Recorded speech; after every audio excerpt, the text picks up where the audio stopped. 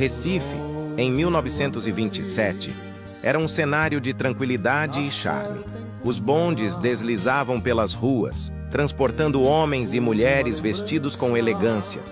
Os homens com seus ternos impecáveis e chapéus de feltro, as mulheres com vestidos longos e chapéus ornamentados, refletiam a moda e a cultura da época. Os carros antigos, de aparência robusta e sofisticada, cruzavam as avenidas, compartilhando o espaço com as carruagens.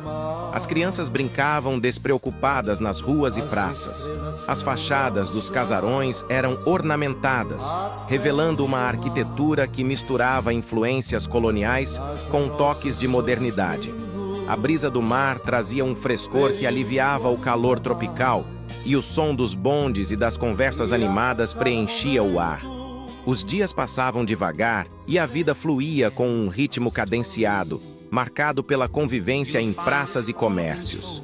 A cidade respirava um ar de simplicidade e contentamento, onde cada esquina guardava lembranças de uma Recife que vivia sua história com serenidade e elegância.